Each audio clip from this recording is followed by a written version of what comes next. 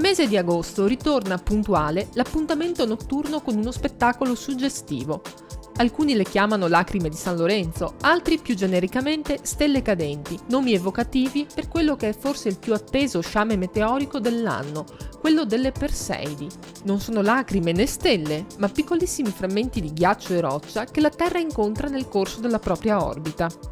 Per osservare le scie luminose che solcano fulminee il cielo, le notti ideali sarebbero quelle del 12 e 13 agosto, se la Luna lo permettesse. Proprio il 13 raggiungerà la sua pienezza, offuscando lo spettacolo delle Perseidi con la propria luminosità. Si consiglia quindi di cominciare a scrutare il cielo già dal 7 agosto, dopo il tramonto, in direzione nord-ovest. Con attenzione e un po' di fortuna, l'avvistamento di qualche meteora dovrebbe comunque essere garantito.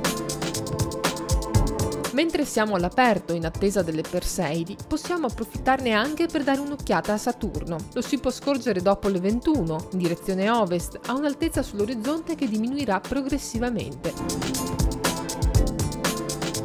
Volgendo l'attenzione alle stelle, notiamo che continuano ad apparire luminose e facili da individuare quelle che formano il triangolo estivo, Vega, Deneb e Altair. Quest'ultima appartiene alla costellazione dell'Aquila, facilmente riconoscibile. Alla sua estremità meridionale si trova la piccola costellazione dello Scudo, all'interno della quale si può provare a identificare l'ammasso aperto M11. Questo gruppo di stelle è visibile anche a occhio nudo. Si trova a una distanza di circa 5500 anni luce.